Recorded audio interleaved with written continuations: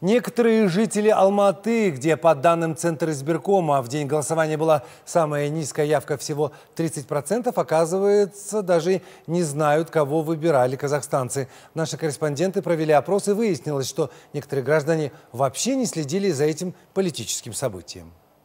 Позавчера у нас прошли выборы. А Что это за выборы были и за кого люди голосовали вообще? Не знаю, я не буду. Они следили, да?